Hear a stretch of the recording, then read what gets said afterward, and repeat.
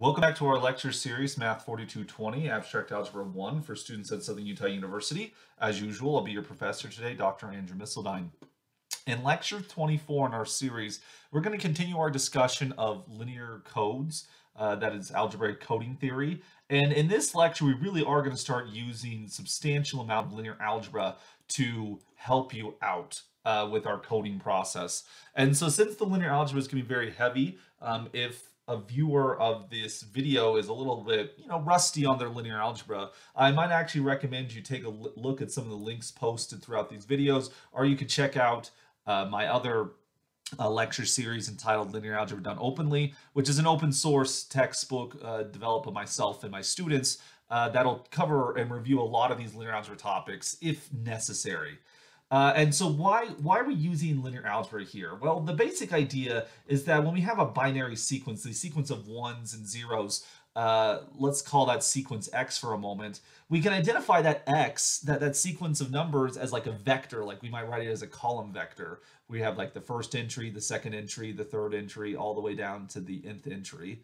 And so we have these column vectors, which then can be naturally associated uh, as vectors inside the vector space Z2n where in standard linear algebra, you often see uh, as your vector space Rn, uh, so you have these column vectors of real numbers. Maybe at some point, even if it's momentarily, you might talk about column vectors in Cn, maybe like if you want to allow complex eigenvalues and things like that. Uh, well, honestly, when I teach linear algebra, I, I actually allow my students to, and I encourage them to use fields other than the real numbers and even the complex numbers. We I teach them very early about finite arithmetic, um, and therefore we can start doing we can start doing linear algebra over these other field other other vector spaces using different fields. And really, the process doesn't change that much. And one of the reasons I had this inspiration to start doing that was actually about this idea of linear codes. That we're learning about this in an abstract algebra course, but honestly, there's nothing that would stop a usual linear algebra student from understanding the basics of these linear codes, other than the fact that they might not be familiar with the finite fields like Z2. But Z2 honestly is not that complicated in its arithmetic. Uh, but let me give you some motivation on why we want to use this linear algebra. So we can we can represent the our sequences as vectors, which is great, but since we can recognize them as vectors, we can then start doing linear algebra on these things. And I've mentioned this before in our series, but representation theory is essentially the branch of abstract algebra that you use linear algebra and things related to that to help you better understand concepts like groups, uh, rings, and other things in uh, abstract algebra. So uh, abstract algebra is basically group theory equipped with linear algebra. And so throughout this lecture and the next one, we're going to see how linear algebra can be used to help us understand this coding theory problem. So let me kind of present you some examples here. So it turns out that, for example, the dot product that you learn from standard linear algebra, maybe it's called the inner product, uh, in that context. It, it, it, depends on the, the textbook or course you used here. Um, I'm going to prefer to use the word dot product in this conversation because really we will be taking the dot product of vectors. Um, inner products, although the dot product is an inner product on say Rn, I would not say that dot product is an inner product on the vector space Z2n or any of these other uh, these other vector spaces we're going to talk about here, mostly because an inner product needs to satisfy the positive definite condition for which you can then use the inner product to develop lengths and distances and angles. Uh, we won't be able to do that for these finite vector spaces, uh, but the operation of the dot product will still be possible. So let me kind of motivate why why why we're using the dot product here. Well, with the ASCII code, which we introduced previously in this series, remember we the our messages we can think of as vectors in Z27. So these are column vectors with seven entries, and they're binary entries. We either have a zero or a one, just a bit right there. And so then the eighth bit uh, which we actually placed as the first bit, I should mention. But uh, the the ASCII encoding process is we take our original message and then we insert an extra bit, a, a so-called check bit, uh, into the first position, and it was calculated by the following formula. Uh, you would take x1 plus x2 plus x3 up to x7, and then you would compute this mod 2 okay so you take the sum of all of the uh, all the information bits inside of our vector. And then you stick that in the front, we'll call it x0. And that way we could check, oh, if, if the message got sent correctly, then we could add these together. The receiver could add these together and see if it matched up with the check bit. If there was any disagreement, that means there was an error in transmission. So we were able to detect the error. Not necessarily correct it, but we could detect the error here. Now, this sum right here is not something just out of the blue. Uh, we can actually realize this sum as a dot product of vectors. If we take the all ones vector, so this would be the vector in Z2N where every entry is 1, okay? And so if you take the dot product of the all ones vector with our with our original message, well, the dot product is just multiple. If we think of these as matrices, right, just as one column matrices, you take the transpose of the first vec uh, first matrix, the first vector, making it into a row vector, and then you multiply that out, you're going to get 1 times x1 plus 1 times x2 all the way down to 1 times x to the seventh. And that's where this formula comes from. So our check bit is essentially just uh, the dot product between the all ones vector, which we could think of as, as a, a vector of weights, and the message vector. That's, that's how we compute this check bit. Okay. Uh, now, the reason I bring this up is I want to introduce some other examples. Uh, so in Judson's textbook, he sometimes has these additional exercise sections uh, for which those are kind of like supplementary sections, co-curricular to what we've been learning about. And the questions themselves, the exercises themselves are often very informative, teaching us new, new concepts. Uh, one that's very pertinent to chapter 8 would actually be section 3.6, uh, this is actually an, an, a supplemental section to chapter three about group theory, about groups. Um, it's entitled Detecting Errors. Okay, so it gives us some elementary ideas about uh, error detecting codes and things like that.